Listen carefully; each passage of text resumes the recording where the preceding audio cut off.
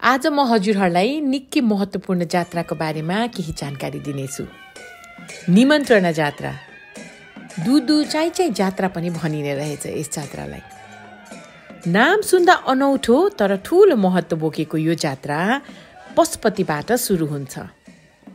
आज शीतला अष्टमीको दिन। पशुपति महादेव र बचलेश्वरी देवी आफ्नो छोरीहरू सबैलाई घोडे जात्राको भोजको लागि निम्तो दिनु जानुहुने चलन रहेछ। प्राचीन काठमाडौँभित्र रहेको अजिमा शक्तिपीठहरूमा पशुपतिबार सानो खटमा श्री पशुपतिनाथ स्वयं ज्योतिर्लिङ्ग आफै विराजमान भई निम्तो दिनु जानुहुने प्रचलन पनि रहेछ। हजुरहरूले यो खटमा देखिरहनु भएको शिवलिङ्ग पशुपतिनाथको गर्भगृहमा रहेको सानो शिवलिङ्ग हो। हजुरहरूले पनि दर्शन गर्न सक्नुहुन्छ। मलाई पनि यो जात्राको बारेमा खासै जानकारी थिएन। र आज बिहान मात्रै फ्रेङ्की फ्रेन्च भाइको आर्टिकल पढेपछि मैले पशुपति विकास कोषमा फोन गर्दा उहाँहरूले मलाई चार बजी आउने निमन्त्रणा दिनुभयो।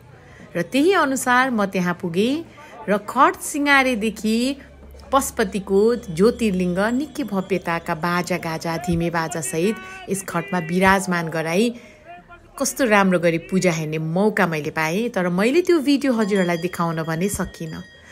किनभने पशुपति मन्दिरभित्र भएकोले भिडियो खिच्ने अनुमति त्यहाँ कसैलाई पनि छैन। हजुरहरूले कति राम्रोसँग देखिरहनु भएको छ यो ज्योतिर्लिङ्गको दर्शन गर्न सक्नुहुन्छ। होइन भने साक्षात् दर्शन गर्नु मन छ भने यो पशुपतिबाट साढे पाँच बजेतिर निस्कियो यो जात्रा। काठमाडौँ असनतिरको अन्नपूर्ण मन्दिरहरूतिर साक्षात् हजुरहरूलाई दर्शन गर्नु मन छ भने अजिमाको शक्तिपीठहरूमा जानु सक्नुहुन्छ। होइन भने साढे नौदेखि दस बजे फेरि विभिन्न शक्तिपीठको दर्शन गरी पशुपतिमै ल्याएर यस जात्राको समापन गरिन्छ। हजुरहरू स्वयं भरे राति पशुपति आएर पनि यो जात्रा हेर्न सक्नुहुन्छ।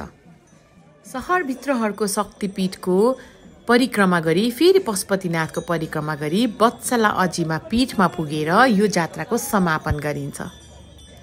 आजको यस दुदु चाइ चाइ जात्राको नेतृत्व भने पशुपतिनाथ मन्दिरको भूगर्भमा रहेको सानो शिवलिङ्गले गर्ने मान्यता रहे तापनि सो सर भने श्री पशुपति ज्योतिर्लिङ्गको पुजारी भट्ट बाजेर राजभण्डारी पुजारीहरूले पैदल हिँडेर यो जात्राको नेतृत्व गर्ने परम्परा पनि रहिआएको छ।